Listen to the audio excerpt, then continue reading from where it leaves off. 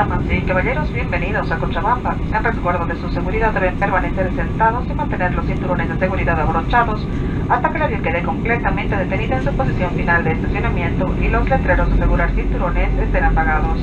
Si necesitan ayuda para desembarcar, un tripulante de cabina se les prestará tan pronto como el pasillo se despeje. Por favor, tengan precaución al abrir los compartimientos portaequipajes a fin de evitar la caída de objetos que hubiesen podido mover durante el vuelo. Asegúrense de llevar consigo todos sus efectos personales.